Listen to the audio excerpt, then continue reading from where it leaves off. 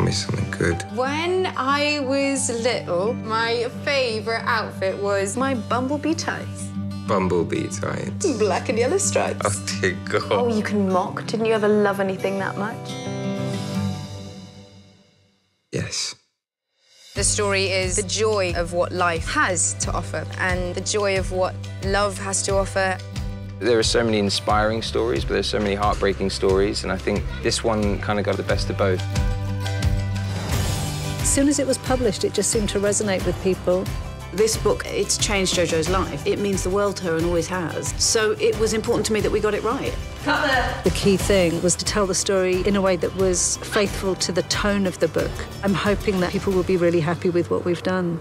There she goes in front of me. The movie starts to meet Louisa Clark. She's a very, very content, happy young thing. She's living in a small, quiet village in England. There's a busy, happy house. Yes, quite chaotic. Yeah. But full of love. Yeah. And then along comes a work opportunity. Do come in. Do you have any experience of caregiving? Uh, no. Will was injured in a road accident two years ago. He has good days and bad days. Will, this is Louisa Clark. Nathan will talk you through Will's routines. You don't have to talk across me, Mother. My brain isn't paralyzed. Yet. What am I here for? To cheer him up, I guess. Hi.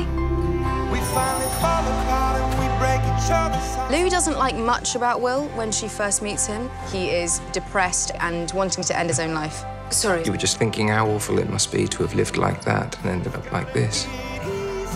She's the first person who speaks her mind. It would be really nice if you didn't try and make my life as miserable as you apparently make everyone else's. They got off to a kind of rocky start, but then things start to shift. Will, can I ask you something? I suspect you're going to. Sorry, I'm being chatty again. No. Stay. There's a spark. His flame's not out, and I think she wants to do everything in her power to kind of make that spark brighter. Don't smile at me like that, Why not? because I don't know what it means. You need to widen your horizons, Clark. You only get one life. It's actually your duty to live it as fully as possible. He sees this untapped potential for living.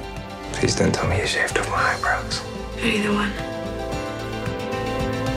Lou tells me you're a bit of an action man before. How about if we got you on a really good fitness regime? Huh? Well, I'm just trying to. Yeah, well, don't. Will comes into her life. Suddenly, her eyes are open to the possibilities of the world. Lose the scarf. Only you would tell a woman how to wear a bloody dress. She realizes that she loves him and knows that he loves her too. Right, well, we better get you in. Wait a minute, Clark. I don't want to go in yet. I just want to be a man who's been to a concert with a girl in a red dress. I loved the story. I loved the simplicity of the story. I loved watching the love affair unfold. Loving can heal. When I was a kid, it used to be my favourite place in the whole world. Oh, I think this would still be my favourite spot. She changes him. She sort of opens his eyes to a very new world. You take care of him. He's a good one.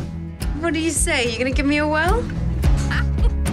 You are pretty much the only thing that makes me want to get up in the morning. Our eyes are never closing. Hearts were never broken. Time's forever frozen still.